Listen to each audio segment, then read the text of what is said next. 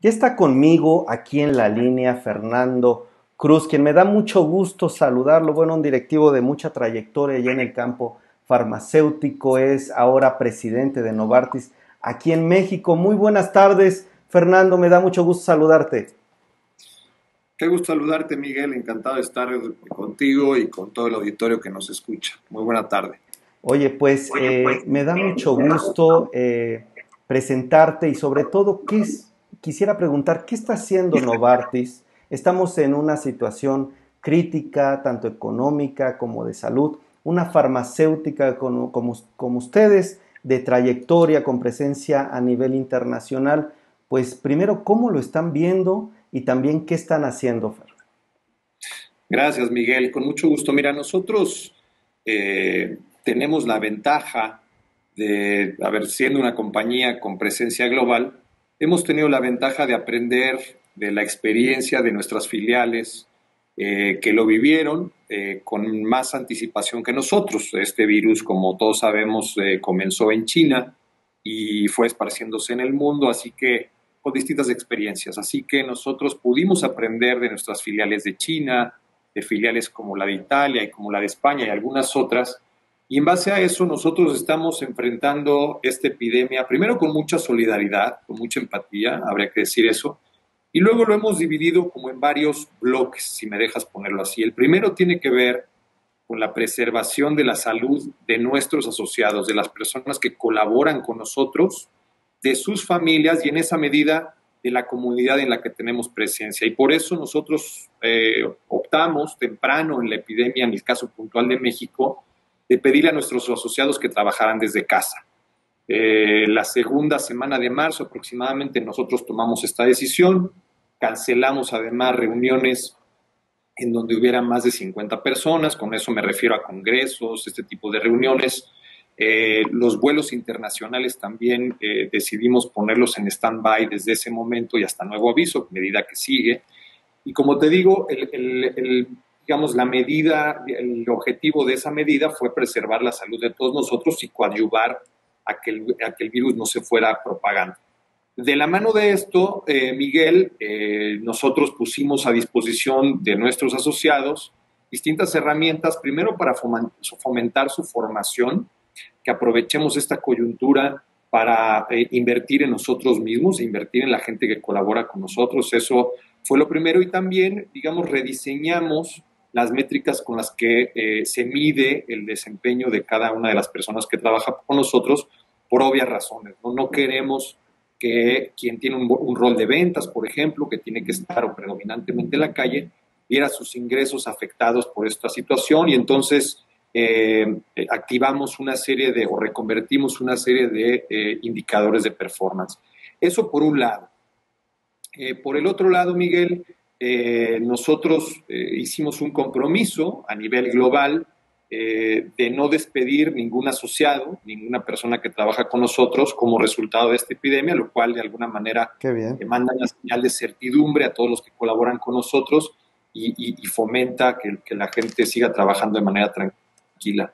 Y, y, una vez que tienes eso sólido, Miguel, viene otro bloque, que es el bloque de las inversiones. Nosotros en el caso de México hemos reiterado el plan de inversiones que ya teníamos en México. No va a haber alteración, no hay alteración al día de hoy de ese plan de inversiones, con lo cual estamos buscando preservar el empleo y luego contribuir de manera decidida a la recuperación económica de México. Y finalmente, el tercer bloque tiene que ver con nuestra dimensión social, en donde estamos haciendo una serie de donaciones, en el caso puntual de México, eh, marcadamente eh, una donación en efectivo que hicimos a través de la Fundación Mexicana para la Salud, está haciendo un gran trabajo eh, junto con el gobierno federal, concretamente con la Secretaría de Relaciones Exteriores, para eh, centralizar, coordinar los donativos que varias eh, compañías estamos haciendo. Hicimos otro donativo de medicamento, de hidroxicloroquina, para el tratamiento del COVID-19, que en algunos estudios clínicos en otras partes del mundo ha demostrado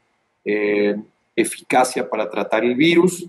Eh, y puntualmente son esas dos intervenciones más otros donativos que todavía estamos viendo cómo vamos a operar, Miguel. Excelente. Oye, Fernando, varios datos muy importantes que yo quiero rescatar. A ver, lo primero es mantienen sus inversiones. O sea, pese a todo, vemos compañías que pues no solo están recortando personal, están eh, retrayendo.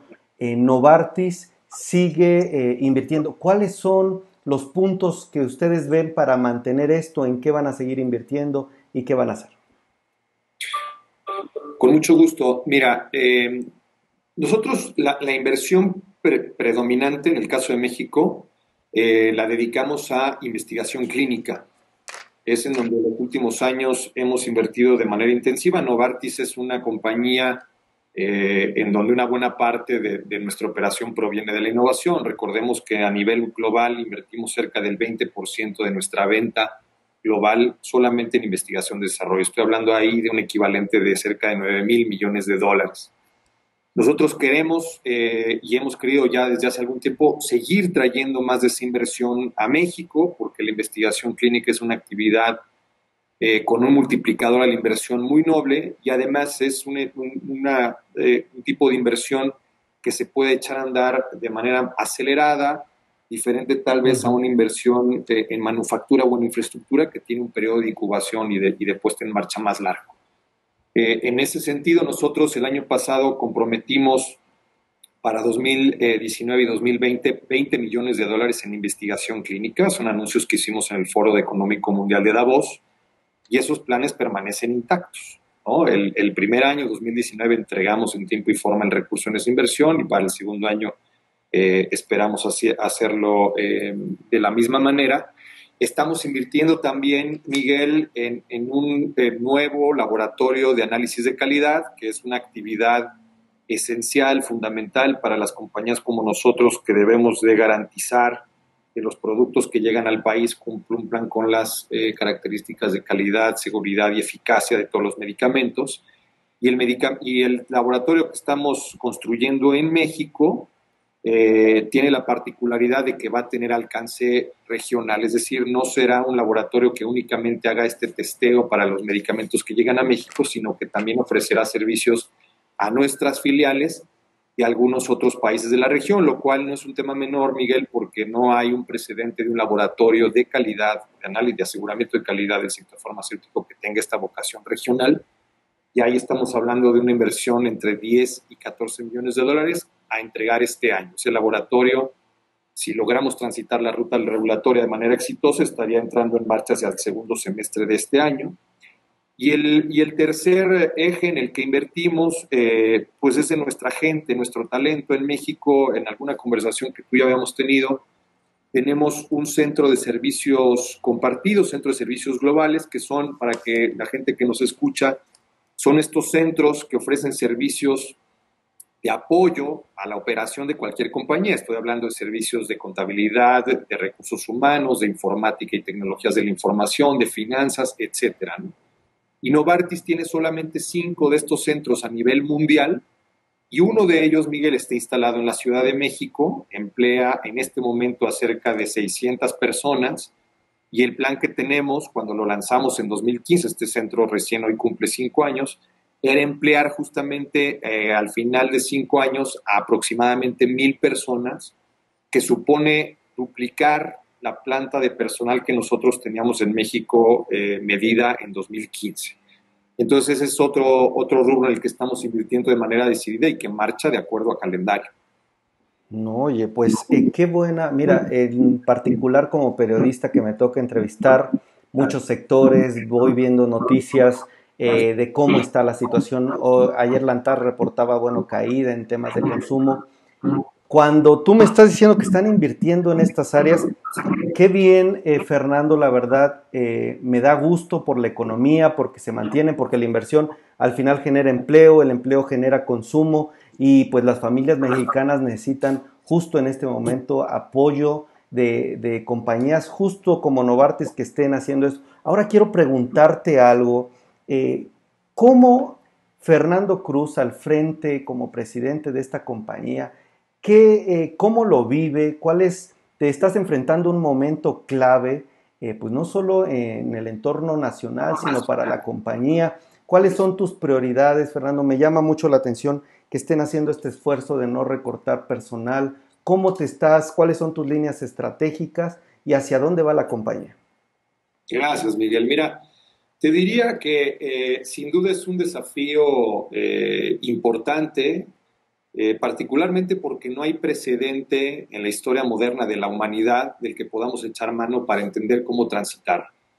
Al mismo tiempo es una oportunidad, como bien lo referías, para todos, no solamente para, para quienes ejercemos alguna posición de liderazgo, pero para todos, independientemente del rol que nos toque, eh, para colaborar, para conjuntamente emprender los esfuerzos que sean necesarios para primero eh, atender lo, urgente que es la epidemia y luego, como bien referías, eh, tratar de que esa recuperación sea en el menor tiempo posible. Entonces, primero, con ese sentido de, la, oportunidad, eh, y te diría también que, yo lo he vivido o lo he tratado de vivir con mucha empatía. algo que veo eh, y que me, que me provoca un, gran optimismo, Miguel, es que si tú revisas la forma en la que la sociedad en su conjunto y las empresas reaccionaban a crisis en el pasado, y pienso en este momento en la de 2008, pienso en la del 94, eh, y podemos pensar en muchísimas, ¿no? Hasta en otras partes del mundo, eh, me da la, sensación que hay un sentimiento de colectividad, hay un sentimiento de empatía, de solidaridad eh, muy diferente. Las compañías comienzan a poner en el centro de sus prioridades primero a sus colaboradores y luego a las comunidades, a la sociedad de las que forman parte. ¿no? Y ahí hay una serie, digamos, de, de, trade-offs que se empiezan a hacer en términos de sacrificar en algún momento resultados de operación, resultados operativos, eh, eh, en beneficio de las personas, de las comunidades en las, que, en las que estamos. Y ahí pienso también en los esfuerzos emprendidos por compañías grandes de pagar a tiempo a sus proveedores, por ejemplo, de no tener periodos de crédito muy, muy largos, justamente para poder reactivar la economía. Entonces, me parece que esa empatía, Miguel, es esencial. Eh, me parece que el tema también de, cuando me hablas a mí de, mis prioridades, la, generación o la continuación de una cultura corporativa que privilegie todo esto que yo te, acabo de decir, para mí es central. Eh, procurar la salud mental de lo que de pronto escuchamos hablar eh, de manera aislada, pero que me parece un tema central en las conversaciones de ahora, la salud mental de las personas que trabajan con nosotros y de las sociedades, porque al final del día, Miguel, el confinamiento nos supone un desafío eh, a todos en cuanto a cómo manejamos el tiempo, la convivencia en nuestras casas. habrás visto también que la forma de interactuar de las empresas con todas estas herramientas digitales requiere de un enorme nivel, como yo decía, de compasión, de empatía, porque tienes que entender que del otro, de la del otro lado de la línea puede haber gente con familias o familias extendidas o qué sé yo, mascotas, lo que cada quien le guste hacer. Y ahora está bien que de pronto hay estas interrupciones eh, y del otro, del otro lado de las líneas eh, ya no se las ve como, como, una, como algo que genera incomodidad. Entonces, para mí eso es, es esencial. Y lo otro, y con eso terminaría esta parte, te diría que es eh, realmente tomar una posición como compañía de liderazgo, dar ese paso al frente, como una compañía que está comprometida en colaborar a lograr justamente una recuperación económica eh, acelerada y en el menor tiempo posible. Y para eso pues tenemos una serie de esfuerzos que reciente compartía y otros que estaremos liberando en, los meses eh, por venir. Muy bien, pues Fernando, solo me resta pedirte algún consejo para los directivos, dueños de negocio. Eh, ¿Qué consejo le das para enfrentar hoy la crisis? Tal vez enfocado más al sector de la salud, al farmacéutico, las farmacias, los médicos. Eh, ¿Qué les dirías tú como presidente de esta compañía farmacéutica y cómo algo práctico que tú les sugieras para enfrentar esta crisis? Gracias, Miguel. Mira, yo, yo te diría que en mi experiencia, evidentemente es importante tener dirección, saber hacia dónde va uno eh, a nivel de la compañía, pero también está bien no tener todas las respuestas. Yo hablaba hace unos minutos de esta situación sin precedentes, entonces sentirse cómodo con la ambigüedad eh, está bien, está bien también, como yo te decía, no tener las respuestas para cada pregunta, abordar esto con mucha curiosidad, también con mucho pensamiento disruptivo, desde luego, pero en un proceso de co-creación con los equipos dentro de las compañías y también con otros actores de la sociedad con los que tal vez eh, años atrás pensábamos que no teníamos puntos en común o pensábamos que no hacía sentido relacionarnos. Me parece que en este momento todo suma, todas las voces son relevantes, todos tienen algo que decir, sin importar el nivel, el nivel jerárquico que tengan en las compañías. Y me parece que si abordamos lo que está por venir, lo que está sucediendo y lo que está por venir con, esa, con ese modo de pensar colaborativo, con humildad, con empatía, con mucha ambición, desde luego, con mucho pensamiento disruptivo, entre todos podremos encontrar la, mejor, ir encontrando la mejor forma de transitar primero la crisis y luego eh, la recuperación económica, que estoy seguro que si nos ponemos a sumar, eh, como siempre lo hemos hecho en México, podremos salir adelante más fortalecidos, Miguel. Muy bien, pues Fernando Cruz, presidente de Novartis México, es un placer como siempre platicar. De verdad, te lo digo en serio, me da gusto de nuevo saludarte, platicar contigo otra vez y sobre todo pues tener estas noticias de inversiones que pues tanto hacen falta en estos momentos. Muchas gracias a ti, Miguel, por, por tenerme siempre un gusto y a cuidarse. A cuidarse. Pues que tengas muy buena tarde. Hasta la próxima, Fernando. Igualmente. Hasta luego.